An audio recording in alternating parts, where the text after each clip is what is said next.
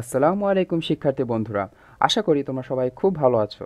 Video থামনেলটি দেখে আশা করি বুঝে গেছো আজকে আমি তোমাদের সাথে কী নিয়ে আলোচনা করতে যাচ্ছি। হ্যাঁ শিক্ষার্থী বন্ধুরা, আজকে আমি তোমাদের সাথে আলোচনা করব কীভাবে আমি বুয়েটে চান্স পেলাম আমার সেই এক্সপিরিয়েন্স এবং তার সাথে তোমরাও কীভাবে বুয়েটে চান্স পেতে পারো তার জন্য কিছু টিপস টেকনিক এবং স্ট্র্যাটেজি ব্যক্তিগতভাবে আমি মনে করি যে একটা বিষয় সম্বন্ধে তুমি যতটা জানার চেষ্টা করবে বা জানবে, সেই বিষয় সম্বন্ধে তোমার আগ্রহ ততই বৃদ্ধি পাবে।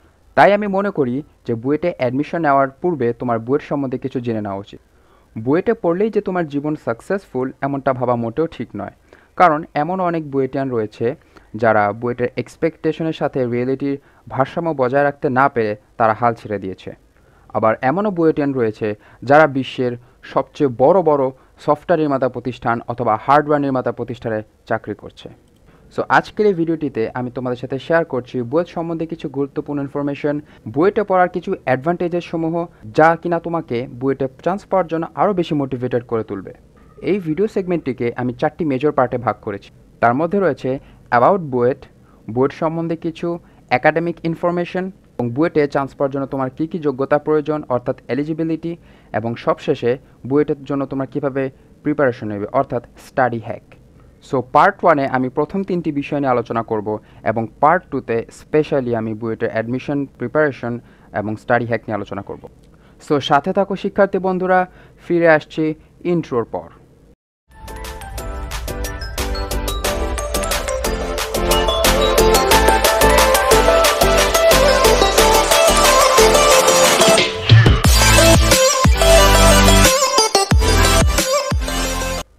ওয়েলকাম ব্যাক শিক্ষার্থী বন্ধুরা। এখন আমরা বুয়েটে কেন পড়ব, তার মোটিভেশন স্বরূপ বুয়েট সম্বন্ধে কিছু ইনফরমেশন জানব।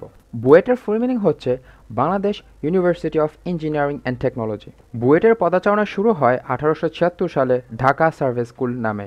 পরবর্তীতে এর নাম করা হয় আহসানুল্লাহ স্কুল অফ ইঞ্জিনিয়ারিং। উনিশশো সাতচল্লিশ সালে একে কলেজ উন্নতি করে নামকরণ করা হয় আহসানুল্লাহ ইঞ্জিনিয়ারিং কলেজ। উনিশশো বাষট্টি সালে একে ইউনিভার্সিটির মর্যাদা প্রদান করে নামকরণ করা হয় east Pakistan university of engineering and technology. R finally, স্বাধীনতার পর এর নামকরণ করা হয় Bangladesh university of engineering and technology. Currently, engineering, architecture, planning এবং সায়েন্স সেকশনে আন্ডার গ্র্যাজুয়েট এবং পোস্ট গ্র্যাজুয়েট টোটাল নয় হাজার সাতশো চল্লিশ জন শিক্ষার্থী অধ্যয়ন করছে। বুয়েটে মোট পাঁচটি ফ্যাকাল্টি রয়েছে। তা হলো faculty of engineering, faculty of civil engineering, faculty of mechanical engineering faculty of electrical and electronic engineering এবং সবশেষে faculty of architecture and planning এছাড়াও, বুয়েটে মোট ছয়টা ইনস্টিটিউট রয়েছে। সেগুলো হলো institute of water and flood management institute of appropriate technology institute of information and communication technology accident research institute BUET Japan institute of disaster prevention and urban safety এবং সবশেষে institute of nuclear power engineering মজার ব্যাপার হচ্ছে, প্রতি বছর এশিয়ার বিভিন্ন প্রান্ত থেকে কমপক্ষে পাঁচজন স্টুডেন্ট বুয়েটে ভর্তি হয়। আরও মজার ব্যাপার হলো, আমাদের সিএসসি ডিপার্টমেন্টে দুজন ফরেনার আছে। তার মধ্যে একজন ইন্ডিয়া থেকে এবং আরেকজন নেপাল থেকে এসেছে। দেশব্যাপী বুয়েটের স্বতন্ত্র পরিচয়ের অন্যতম প্রধান কারণগুলোর মধ্যে একটি হলো যে, বুয়েট নিজ উদ্যোগে কিছু রিসার্চ পরিচালনা করে। তার মধ্যে কিছু কিছু রিসার্চে ইউএনও, ইউরোপিয়ান ইউনিয়ন এবং কমনওয়েলথের মতো কিছু ইন্টারন্যাশনাল অর্গানাইজেশনও স্পন্সর করে থাকে। বুয়েটে কেন পড়ব? তার সবচেয়ে বড় মোটিভেশন হচ্ছে বুয়েটের অ্যালামনাইগণ। তারা Microsoft, Oracle, Google, IBM, Intel ইত্যাদি বিভিন্ন ইন্টারন্যাশনাল স্বনামধন্য সফটওয়্যার এবং হার্ডওয়্যার নির্মাতা প্রতিষ্ঠানে জব করছে। এইবার তোমাদের জন্য রয়েছে একটা বোনাস ক্লিপ। আর তা হলো, তুমি যদি এই মুহূর্তে বাংলাদেশে অবস্থান করে থাকো, তাহলে তুমি যে বিল্ডিংটিতে বসে আমার এই ভিডিওটি দেখছ তার সিমেন্ট এবং রড কিন্তু অবশ্যই বুয়েট টেস্টেড। সো শিক্ষার্থী বন্ধুরা, এখন আমি তোমাদের বুয়েটের অ্যাডমিশন সম্পর্কে কিছু ইনফরমেশন দেবো।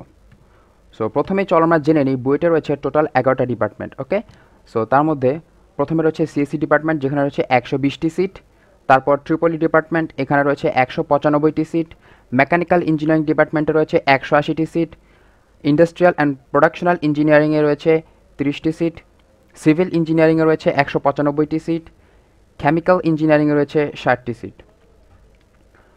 এরপর আর্কিটেকচারে রয়েছে পঞ্চান্নটি সিট, নেভাল আর্কিটেকচার অ্যান্ড মেন ইঞ্জিনিয়ারিংয়ে রয়েছে পঞ্চান্নটি সিট, এমএমই অর্থাৎ ম্যাটেরিয়ালস অ্যান্ড মেটালার্জিক ইঞ্জিনিয়ারিং রয়েছে পঞ্চাশটি সিট ইউআরপি অর্থাৎ আরবান অ্যান্ড রিজিওনাল প্ল্যানিংয়ের মধ্যে রয়েছে তিরিশটি, এবং সবশেষে ডব্লিউআরই অর্থাৎ ওয়াটার রিসোর্স ইঞ্জিনিয়ারিং এখানে রয়েছে তিরিশটি সিট।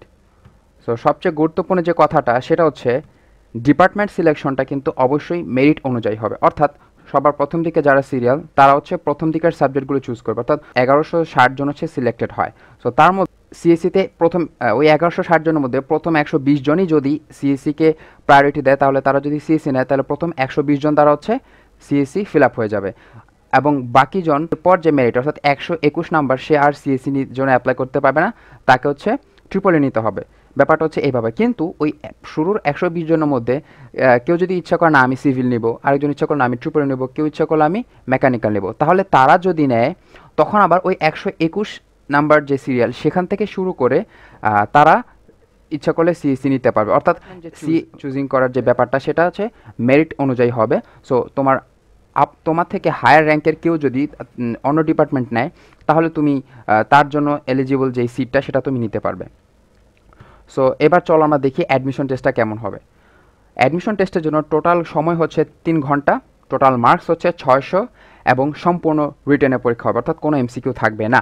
ওকে তো এখানে গুরুত্বপূর্ণ যে ব্যাপার হচ্ছে সেটা হচ্ছে সাবজেক্ট থাকবে তিনটি ম্যাথ ফিজিক্স এবং কেমিস্ট্রি এবং প্রত্যেকটা মার্ক হচ্ছে সেম অর্থাৎ ম্যাথ দুশো ফিজিক্স দুশো এবং কেমিস্ট্রি দুশো এবং টোটাল কোশ্চেন থাকবে ষাটটি ওকে ম্যাথ থেকে বিশটি ফিজিক্স থেকে বিশটি কেমিস্ট্রি থেকে বিশটি অর্থাৎ প্রতি কোশ্চেনে দশ মার্ক করে, এর জন্য প্রত্যেকটা পার্টিকুলার সাবজেক্টে হচ্ছে দুইশো মার্ক বিশটি কোয়েশ্চেন আর হল টোটাল হচ্ছে ছয়শো মার্ক ওকে সো এই সম্পর্কে আরও কিছু ইনফরমেশন আমরা জেনে নিই যে এখানে কোনো নেগেটিভ মার্কিং নেই, এবং গ্রাফিং ক্যালকুলেটার ছাড়া তুমি যে কোনো ধরনের অ্যাডভান্স ক্যালকুলেটার নিয়ে যেতে পারবে, সেটা গ্রাফিং হতে পারবে না।